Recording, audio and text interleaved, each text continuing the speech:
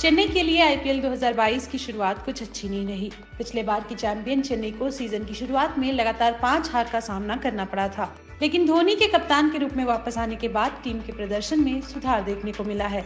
चेन्नई अब तक हुए 11 मैचों में चार जीत हासिल करने के बाद पॉइंट्स टेबल में आठवें नंबर पर पहुँच गई है और अभी भी उसके प्लेऑफ में जाने की तीन प्रतिशत संभावनाएँ बची हुई हैं।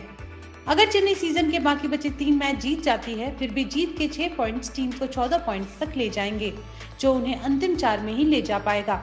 लेकिन कप्तान धोनी इसको लेकर परेशान नहीं है। उन्होंने कहा कि अगर वो प्लेऑफ में जाते हैं तो यह अच्छी बात है। लेकिन अगर वह नहीं जा पाते तो यह दुनिया का अंत नहीं होगा। सीएसके के प्लेऑफ में जगह बनाने के कैलकुलेशन के बारे में बात करते हुए धोनी ने कहा कि नेट रन रेट के बारे में सोचने से मदद नहीं मिलती, और वो बस आईपीएल का आनंद लेना चाहते हैं। बता दें कि सीएसके को अभी अपने आखिरी तीन match Mumbai Indians, Gujarat Titans और राजस्थान रॉयल्स के खिलाफ खेलने हैं। एक भी मैच हारने पर वो प्लेऑफ की दौड़ से बाहर हो जाएँगे।